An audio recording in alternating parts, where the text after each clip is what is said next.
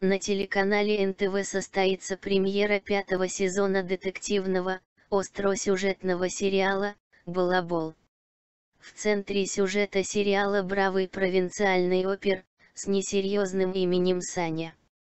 Он распутывает безнадежные, на взгляд его коллег, преступления.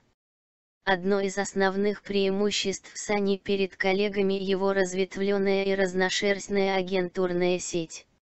Ведь ему, в интересах следствия, приходится иметь дело, с проститутками, с мелкими мошенниками, с бомжами и бродячими музыкантами. В продолжении истории Саня Балабин работает под началом своего старого друга Грибанова, а в его отделе снова появляется новичок и это очень необычное пополнение, которого никто не ожидал. В личной жизни у Сани тоже перемены, он окончательно расходится с Леной, которая нашла себе новую любовь. Одновременно в жизнь Сани неожиданно возвращается его старая знакомая Анжелика и приносит с собой массу проблем.